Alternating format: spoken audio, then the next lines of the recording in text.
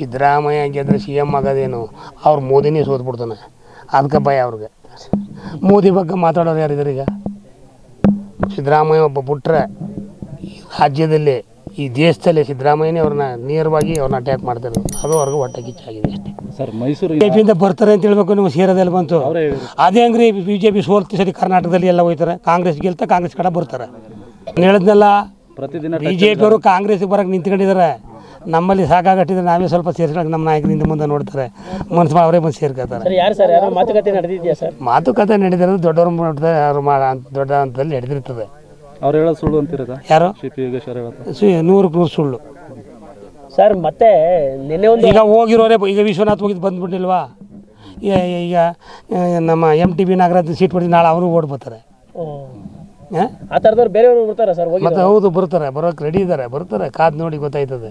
ಹತ್ರ ಗತಿಯಾಗ ಗೊತ್ತಾಗ್ತದೆ ಎಲ್ಲ. ಯಾರು ಕಾಂಗ್ರೆಸ್ ಇವಾಗ ಕಾಂಗ್ರೆಸ್ ಯಾರಿದ್ರು ಒಬ್ಬರು ಇದ್ದಾರೆ ಇದು ಬಿ ಜೆ ಪಿಗೆ ನಮ್ಮನ್ನು ಸೇರ್ಕೊಂಡ್ರು. ಕಾಂಗ್ರೆಸ್ ಒಬ್ಬ ಹೋಗಿರೋ ಉದಾಹರಣೆ ಹೇಳಿ. ಇದೇ ಈ ರಾಜ್ಯದಲ್ಲಿ ಎಲ್ಲೂ ಬೇಡ, ಚಾಮರಾಜನಗರನೇ ತಗೊಳ್ರಿ. ಮುಖ್ಯಮಂತ್ರಿ ಎರಡು ಬಾರಿ ಬಂದರು. ಏನಪ್ಪ ಕೊಟ್ಟರು ಅದೇ ಸಿದ್ದರಾಮಯ್ಯ ಹನ್ನೆರಡು ಬಾರಿ ಬಂದರು. ಫಸ್ಟ್ ಬಂದಲ್ಲಿ ಸಾವಿರಾರು ಕೋಟಿನ ಮಾಡಿದ್ರು. ಈ ನಗರ ಏನಾದ್ರು ಚಾಮರಾಜನಗರ, ನಗರ ಅನ್ನೋದು ಈ ಈ ಭಾರತದ ಎಲ್ಲ ಮೂಲೆ ಮೂಲೆಗೆ ಗೊತ್ತಾಗಿದೆ ಸಿದ್ದರಾಮಯ್ಯ ಕಾರಣ. ಇವರಿಂದ ಏನಾರು ಆಯ್ತಾ? ಇವ್ರೇನು ಅವ್ರು ಮಾಡಿರೋ ಬಂದು ನಾವು ಮಾಡಿ ಅಂತ ಹೇಳ್ಕೊತಾರೆ ಹೇಳಿ ಏನು ಮಾಡಿದ್ರು?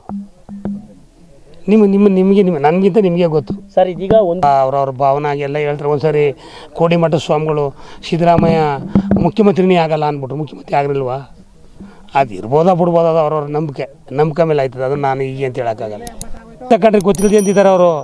ಗೊತ್ತಿರಬೇಕು ಅವ್ರಿಗೆ.